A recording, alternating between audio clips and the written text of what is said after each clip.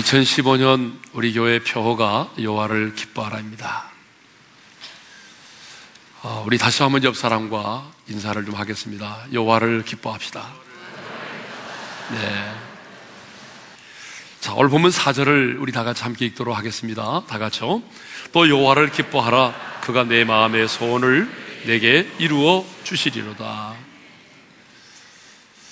여호와를 기뻐하라. 여러분 여호와를 기뻐하라는 말의 의미가 뭐겠어요? 여호와를 기뻐하라고 하는 말씀의 의미는 뭐 소극적 의미가 있고 적극적 의미가 있습니다.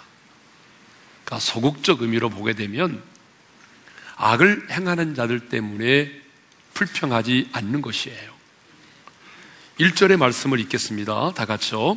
악을 행하는 자들 때문에 불평하지 말며 불의를 행하는 자들을 시기하지 말지어다. 어, 시편 37편은요, 누가 썼죠? 다윗이 썼어요. 그러니까 다윗은 시편 37편에서 끊임없이 이 악인과 의인을 대조하면서 하나님을 경외하는 의인들이 악을 행하는 자들을 때문에 악을 행하는 자들 때문에 불평하지 말 것을 권면하고 있거든요. 그러면서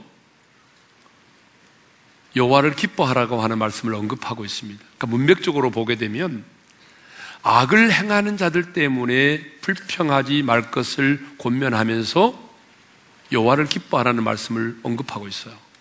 그러니까 문맥적으로 보게 되면 여호와를 기뻐하는 것이 뭐냐 그러면 불평하지 않는 것입니다.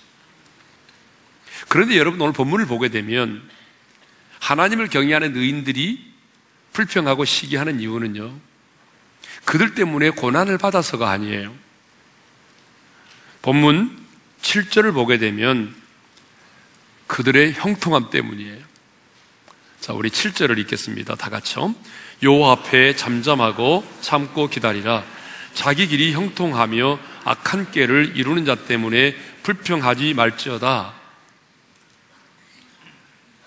여러분, 하나님의 사람들이 지금 불평하고 원망하고 시기하는 이유가 뭐냐면요. 그들 때문에 내가 고난을 받아서가 아니라 지금 그들이 나보다 더 형통하고 번영한다는 거예요. 하나님의 사람이 나는 너무 힘들고 어려운데 하나님을 대적하고 하나님을 믿지 않고 악을 행하는 자들이 내 눈에는 더 번영하고 형통하다는 거예요. 그것 때문에 불평과 원망이 나오는 거죠. 여러분 8절을 보게 되면요. 분을 그치고 노를 버리며 불평하지 말라는 말씀이 있어요. 이 말씀을 보면 얼마나 의인들, 하나님을 경외하는 의인들이 악을 행하는 자들 때문에 분노하고 불평을 쏟아놓고 있는지를 알 수가 있어요. 여러분, 우리도 마찬가지잖아요? 우리도 내가 하나님의 사람으로서 힘들고 손해를 보고 고난을 받기 때문만이 아니라 진짜 우리를 힘들게 하는 게 뭐냐면 나는 힘든데 하나님을 대적하고 악을 행하는 자들이 나보다 더 잘 된다는 거예요. 그래서 우리는 늘 하나님을 향해서 불평과 원망을 쏟아놓습니다. 그런데 하나님은 그런 행악자들의 형통을 인해서 불평하고 시기하는 자들에게 오늘 저와 여러분들에게 주님이 말씀하십니다. 2절을 읽겠습니다. 다 같이요. 그들은 풀과 같이 속기 배임을 당할 것이며 푸른 채소같이 세잔할 것이미로다. 여러분, 풀과 채소는 특징이 있어요. 무슨 특징이냐 그러면 빨리 자란다는 거예요. 빨리 자란 만큼 또 수명이 오래 가지 못한다는 것입니다. 길어야 한철이죠. 한철이 지나기 전에 다 사라지고 말아요. 무슨 말입니까? 우리 인간들 입장에서 보게 되면 악을 행하는 자들의 형통과 번영이 오래 가는 것처럼 보이지만 하나님께서 보실 때는 잠시 잠깐에 불과하다는 거예요. 머지않아 하나님의 공의로운 심판이 임하게 되면 그들은 풀과 같이 배임을 당하게 되고 채소와 같이 세잔하게 된다는 것이죠. 하나님께서는요, 악인들의 행위에 대하여 즉각적으로 보응하지 않으십니다. 사탄이 범죄했을 때도 여러분 하나님이 즉각적으로 멸하지 않으시고요. 물론 부분적인 심판은 하나님이 행하셨어요. 그렇지만 세상 마지막 때까지 그 완전한 심판을 유보하셨습니다. 아담과 하와가 너 이거 먹으면 죽으리라고 하는 말씀을 어기고 선악과를 따먹어서 타락할 때도 하나님은요, 그들을 즉시 죽음에 이르게 하지 않았습니다. 물론 영은 죽었지만 그들의 육체는 아담은요, 성경에 보니까 930세까지 살고 죽었잖아요. 그러니까 아담은 선악과를 따먹고 난 이후에도 수백 년을 살다가 죽은 거예요. 하나님은 악을 행하는 자들을 공의로 심판하실 때도 여러분 즉각적으로 심판하지 않으십니다. 그러나 분명한 사실은 하나님은 반드시 반드시 악을 행하는 자들을 심판하십니다. 그렇기 때문에 오늘 우리에게 말씀하십니다. 악인의 형통을 부러워하지 말라. 악인의 형통과 번영을 인해서 불평과 원망을 쏟아놓지 마라. 그것이 소극적으로 뭐죠? 여호와를 기뻐하는 것이에요. 악인들의 형통함을 부러워하지 말고 악을 행하는 자들 때문에 불평하거나 원망하지 말라는 거예요. 한마디로 말하면 불평하거나 원망하지 않는 게 뭐죠? 그게 하나님을 기뻐하는 것입니다. 여호와를 기뻐하는 것입니다. 여러분 한 해 동안 불평과 원망이 여러분의 입술에 사라지기를 바랍니다. 자, 적극적으로 여호와를 기뻐하라고 하는 말씀의 의미는요. 여호와로 인하여 기뻐하는 것을 말합니다. 내 느낌, 내 감정, 그리고 내가 처해 있는 상황과 환경을 뛰어넘어서 주님으로 인하여 내가 기뻐하는 것. 여러분 이것이 뭐죠? 여호와를 기뻐하는 것입니다. 아멘.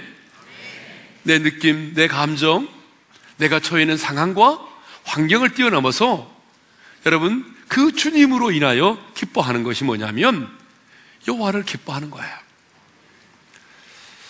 여러분 그렇게 사는 게 쉽지 않거든요. 말이 그렇지. 근데 그렇게 산 사람이 있습니다. 이 시편을 쓴 다윗이 그랬어요. 여러분 다윗은요 파란만장한 삶을 산 사람이에요. 그가 이제 왕으로 기름 부음을 받았지만은 왕으로 기름 부음을 받았다고 해서 그가 곧바로 왕이 되지 않았잖아요. 기름 부음을 받았지만 자기 장인인 사울 왕이 자신을 그토록 미워하고 죽이려고 했어요. 그러니까 성경에 보게 되면 자기의 장인 사울 왕을 위해서 다윗이 수금을 연주를 했는데 그때의 사울 왕이 그 목전에서 가까운 거리에서 단창으로 다윗을 죽이려고 던졌어요. 근데 여러분 어느 정도 세기로 던진지 아세요? 그 단창이 벽에 박힐 정도로 세게 던졌습니다. 사실 하나님의 은혜가 아니면요, 죽었어요. 왜냐하면 그렇게 가까운 곳에서 그것도 한 번도 아니라 두 번이나 그런 일을 경험했거든요. 그런데 그것으로 끝나지 않고 사울왕은요, 모든 군사를 동원해서 다윗을 죽이려고 했어요. 그래서 다윗은 어쩔 수 없이 10년이 넘는 세월입니다. 10년이 넘는 그 기나긴 세월 지명수배자로 살았어. 사울왕에 의해서 쫓겨다니는 삶을 살았습니다. 제대로 두 달에 쫙 뻗고 잠을 잔 적이 없어요. 굴에서 들에서 이슬을 맞으면서 그렇게 잠을 청해야만 했습니다. 여러분 지명수배를 당하여 쫓겨다니는 삶이 얼마나 불안하고 두렵겠어요. 얼마나 힘들었으면 다윗이 여러분 온수의 나라인 블레셋 나라로 도망을 갔겠어요. 내가 블레셋 나라로 들어가면 안전하겠지. 그 들어갔는데 여러분 플렛의 신하가 다윗을 딱 보는 순간에 어? 저 친구 우리 과연 지난번에 우리 골리앗 장수를 물리친 사람인데 자기 신분이 뽀롱이 났어요. 틀통이 났다고요. 그래서 또 죽을 수밖에 없는 이기가 찾아왔습니다. 그때 다시 미친 사람 흉내를 내잖아요. 미친놈 행세를 합니다. 그래서 갑자기 막 침을 흘리고 손가락으로 벽을 팍팍팍 긁어대면서 미친놈 행세를 했어요. 근데 마치 그 왕이, 블레셋 왕이 그 연기에 속아 넘어가요. 그래서 정말 죽음을 맛보지 않고 간신히 다시 살아 돌아오게 됐죠. 여러분, 다인만큼 사람들로부터 배신을 많이 당한 사람이 없습니다. 그렇게 자기를 추종하던 백성들이 자신을 배신했어요. 아이도벨이 자신을 배신했어요. 심지어는요, 자기가 낳은 아들 압살롬이 아버지를 배신했어요. 그래서 나중에는요, 쿠테타를 일으켜가지고 아버지를 죽이겠다고 여러분 예루살렘을 쳐들어왔잖아요. 그때에 다윗은요, 아들과 싸우고 싶지 않아서, 피를 보고 싶지 않아서, 신발도 신지 않은 채 울면서, 여러분, 예루살렘 궁을 떠나야만 했습니다. 여러분, 그때의 다윗의 심정을 아십니까?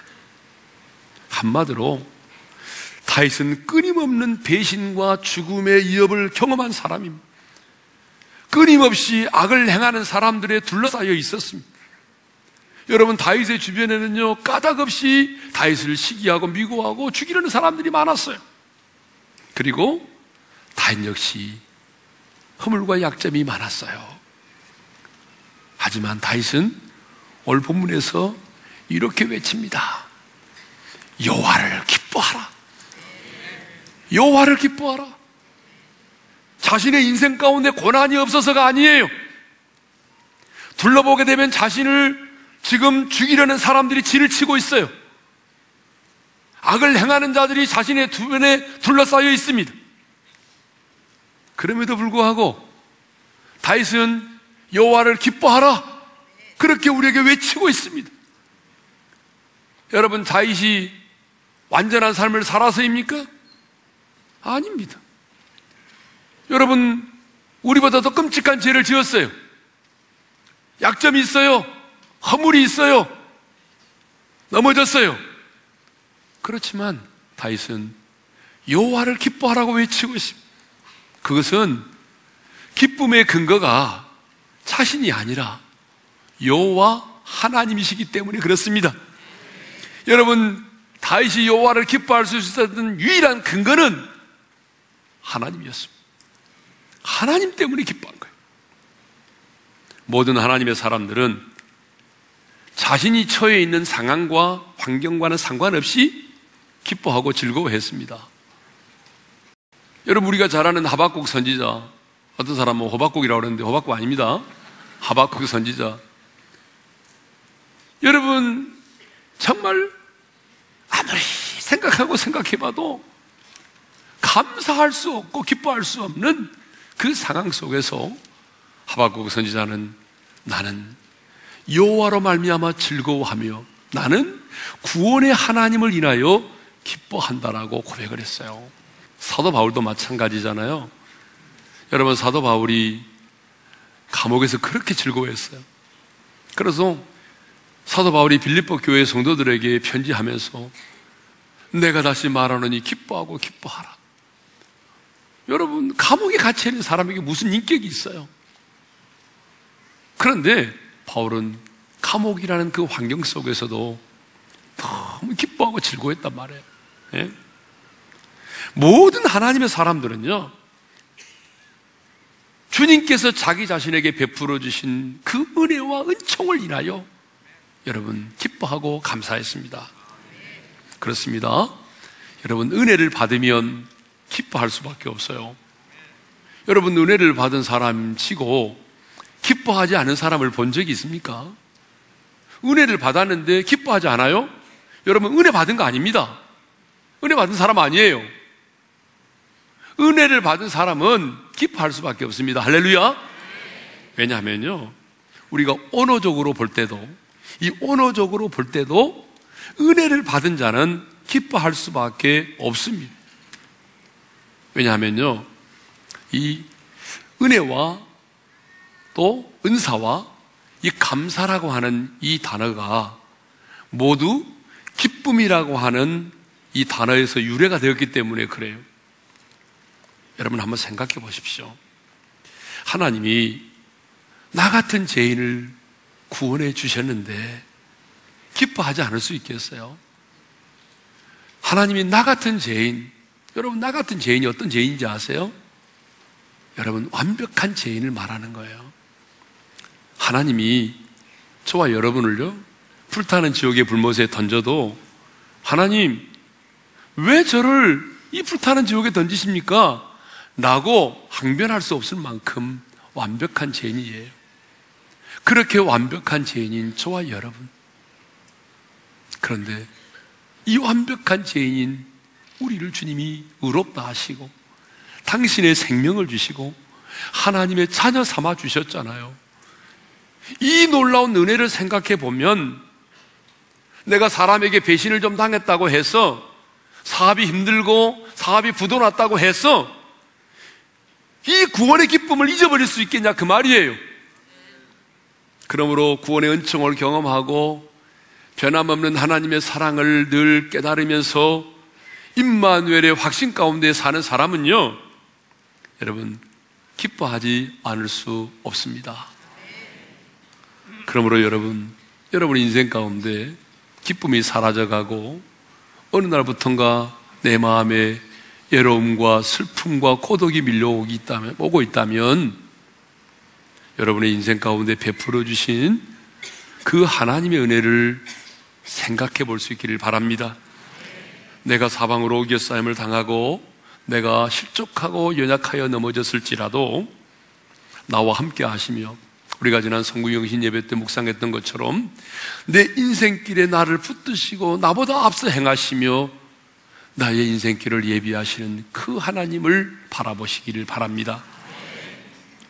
요하를 기뻐하라는 말을 정리하겠습니다. 소극적으로는 불평하지 않고 원망하지 않는 것입니다. 적극적으로는 내 느낌, 내 감정, 내가 처해 있는 상황과 환경을 뛰어넘어서 내게 은혜를 베풀어 주신 그 하나님을 인해서 내가 기뻐하고 즐거워하는 것입니다. 자, 그러면 여호와를 기뻐하는 자에게 주시는 하나님의 축복은 무엇입니까? 사절을 다시 한번 읽습니다. 시작. 또 여호와를 기뻐하라. 그가 내 마음의 소원을 내게 이루어 주시리로다. 하나님께서는요.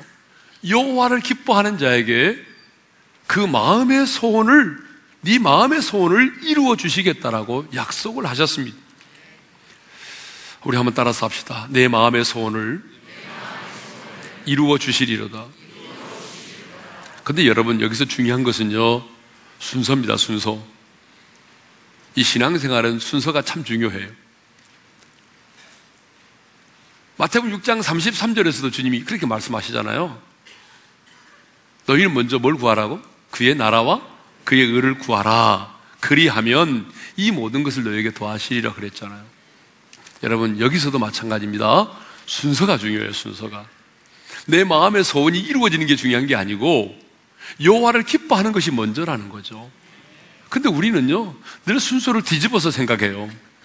그래서 늘 이렇게 말하죠. 주님, 제 마음의 소원을 응답해 주세요.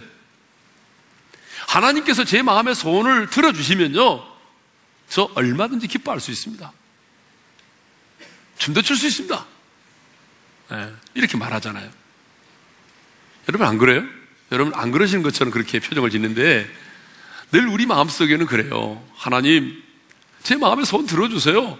어? 제 마음의 소원 들어주시면요. 제가 얼마든지 주님 기쁘게 해드릴 수 있습니다. 그런데 주님 우리에게 말씀합니다. 순서를 바꿔라. 여호와를 먼저 기뻐하라는 거예요. 할렐루야. 하나님을 기뻐하는 게 먼저라는 거예요. 여러분 마음의 소원이 응답되었을 때 기뻐하는 것은요. 여러분 믿지 않은 사람도 할 수 있어요. 내 마음의 소원이 응답됐을 때 여러분 믿지 않은 사람도 얼마나 기뻐한지 아세요? 예? 그거는 믿음이 없는 사람도 할 수 있어요. 그러나 내가 먼저 여호와를 기뻐하는 일은요. 이건 아무나 할 수 없어요. 이거는 정말 하나님을 사랑하고 하나님을 신뢰하는 자만이 할 수가 있는 것입니다. 그래서 여호와를 기뻐하는 일이 먼저입니다. 네. 그러면 왜 하나님은요 여호와를 기뻐하는 자에게 마음의 소원을 어, 이루어 주시겠다고 약속을 하셨을까요? 이것은 마음의 소원을 두고 행하심이 하나님의 일하심의 방식이기 때문에 그래요. 뭐라고요? 하나님의 일하심의 방식. 제가 늘 자주 쓰는 표현이잖아요. 하나님의 일하심의 방식을 알라. 성경을 보게 되면 우리 하나님은 끊임없이 일하기를 원하시는 분이십니다.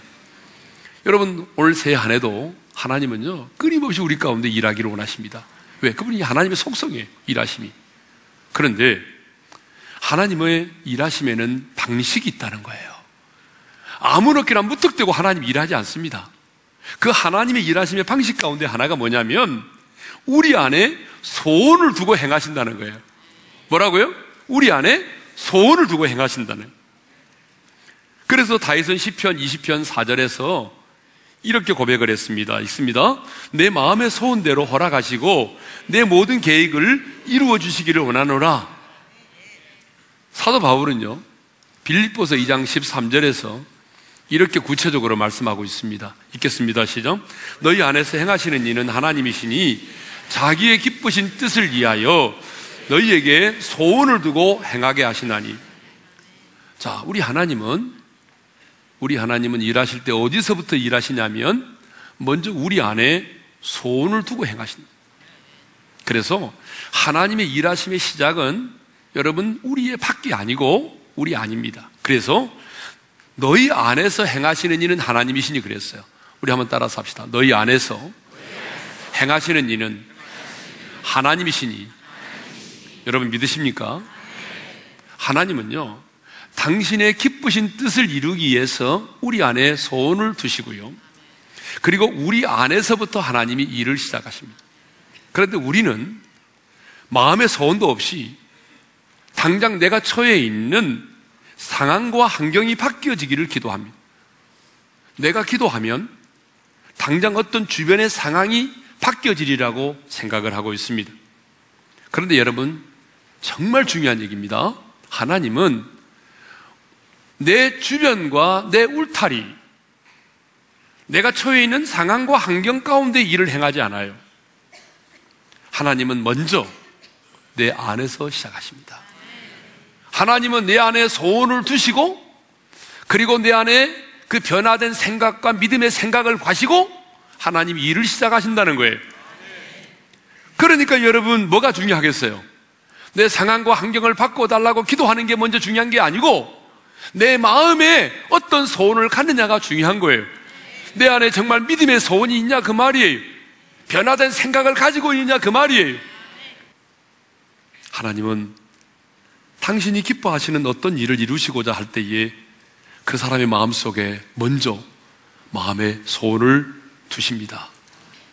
하나님께서 우리 안에 소원을 두고 행하신다고 하는 말은 하나님께서 우리의 한 사람 한 사람을 통해서 일하기를 원하시는 하나님의 계획이 있다는 것을 의미합니다.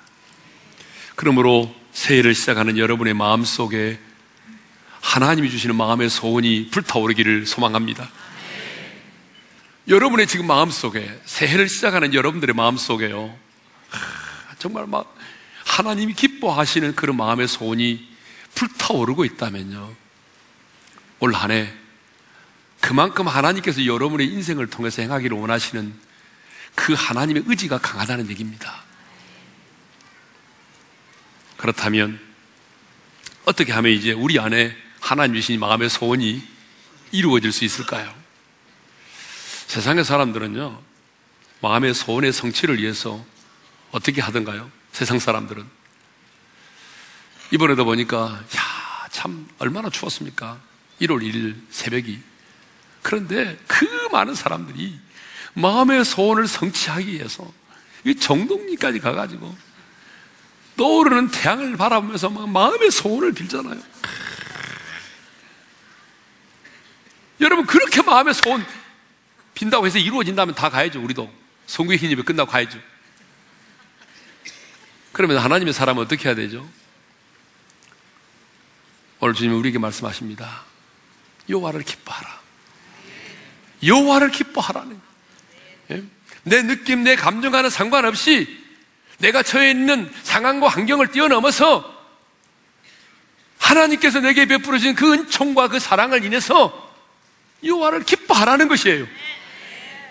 그러면 내가 네 마음의 소원 이루어 줄게. 근데 여러분의 소원이 아니라 바로 하나님이 우리에게 주신 그 기쁨의 소원, 하나님의 기쁘신 뜻을 위하여 하나님이 우리 마음속에 부어주신 그 마음의 소원, 내가 이루어 줄게. 여러분 그것이 여호와를 기뻐하는 자에게 주신 약속입니다. 여호와를 인하여 기뻐하는 것은 우리의 간구와 기도를 뛰어넘는 가장 영, 강력한 영적인 무기인 거예요. 여러분 우리는 간구하잖아요. 하나님 이렇게 해주십시오, 이렇게 해주십시오 간구하는데 이 간구와 기도를 훨씬 뛰어넘는 가장 강력한 영적인 무기가 뭔지 아세요? 그것은 여호와를 인하여 내가 기뻐하는 것입니다. 그래서 여러분 힘들고 어렵지만 내 느낌과 내 감정을 뛰어넘어서 올 한해 정말 불평하지 말고 원망하지 말고 여호와를 인하여 기뻐하는 삶을 살아가십시다. 우리가 그렇게 여호와를 인하여 기뻐하고 즐거워하는 삶을 살아가게 되면 하나님 우리에게 약속하셨습니다. 내가 너에게 준 마음의 소원 이루어 줄게. 그래서 여호와를 기뻐함으로 2015년 하나님이 우리 마음속에 부어주신 그 마음의 소원이 꼭 이루어지는 축복된 한 해가 되기를 소망합니다.